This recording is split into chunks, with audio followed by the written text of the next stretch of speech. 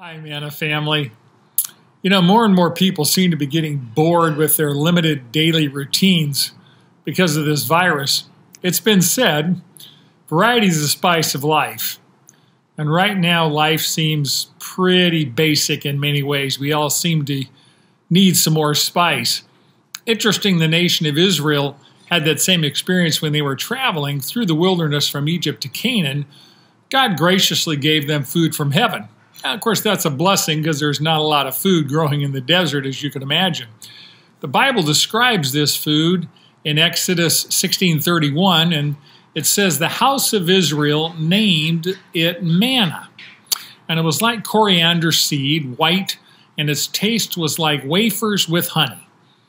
The sons of Israel ate the manna 40 years until they came into an inhabited land and Numbers 11 9 said that when the dew fell on the camp at night, the manna would fall with it. So would fall at night when the Israelites were sleeping.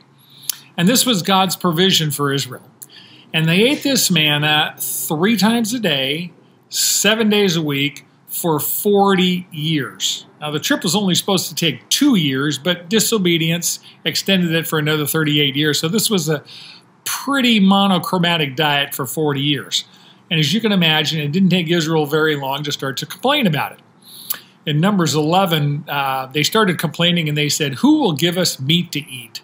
We remember the fish we used to eat in Egypt, the cucumbers and the melons and the leeks and the onions and the garlic, but now our appetite is gone.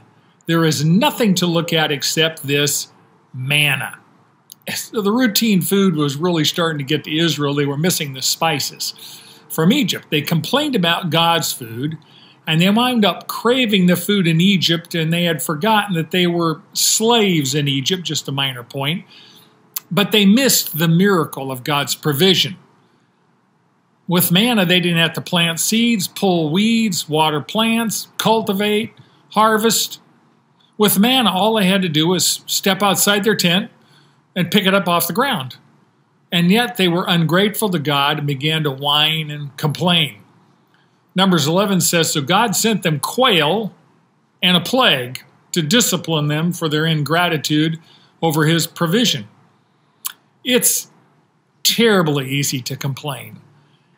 The circumstances we're in are very bland. I know there's a lot of things we're not doing, but they can be a blessing and not a burden if we see them from God's point of view. God gave Israel the daily food that he knew they needed when they were in the wilderness. And today, God is giving us exactly what we need during this coronavirus pandemic. Moses reminded the nation why God gave them manna in Deuteronomy 8:16 when he said, "In the wilderness God fed you manna which your fathers did not know, that he might humble you and that he might test you to do good for you in the end." So, one of the purposes of the manna was that God was teaching Israel to depend on Him alone. He was also teaching them to be grateful for whatever God provided. You know, when I was a child growing up on the farm, whatever mama cooked for dinner is what you ate. And you didn't complain because that was all there was to eat. Hunger makes a really good cook. Today, God is using this pandemic, among other things, to teach us to depend on Him alone, also to be grateful for everything He provides.